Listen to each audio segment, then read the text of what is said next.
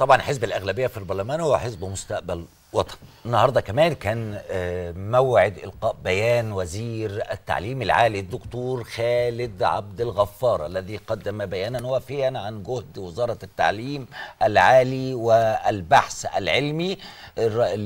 الجلسة شهدت مناقشات هامة حول ملفات الوزارة من بين تعامل المستشفيات التابعة للوزارة مع أزمة كورونا عدم التزام بعضها بالبروتوكولات. بروتوكولات العلاج المعلنة من وزارة الصحة والوزير رد قال عندنا أكتر من 13000 طبيب أكيد هيبقى في بعض المخالفات وده بيتم التعامل معاهم. آه، كمان تم الكلام عن الشهادات المعادلة والناس اللي واخدة مؤهلات من الخارج.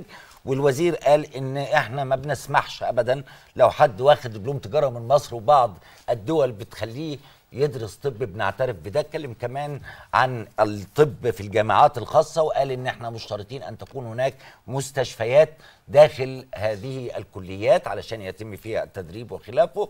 وزير التعليم العالي النهاردة قدم نفسه بشكل جيد جدا عشان كده كانت حتى الاعتراضات أو المناقشات محدودة. وأحيل البيان بتاعه للجنة التعليم في آه، البرلمان بكرة هيكون الأستاذ طارق آه، الدكتور طارق شوقي وزير التربية والتعليم والدكتورة رانيا المشاط وزيرة التعاون الدولي أمام البرلمان إن شاء الله.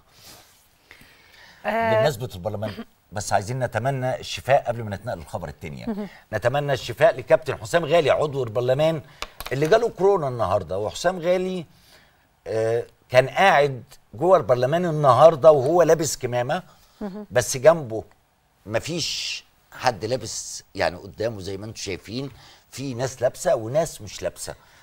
وإحنا شفنا ده في الجلسات الأولى كمان للبرلمان العدد كبير جدا وفي مفيش تباعد ومش لابسين كمامات.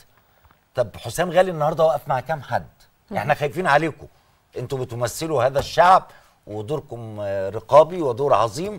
فخدوا بالكم من صحتكم يعني لا نقلل الأعداد ونلبس كمامات لا نحاول نتباعد شوية ربنا يحفظكم جميعا.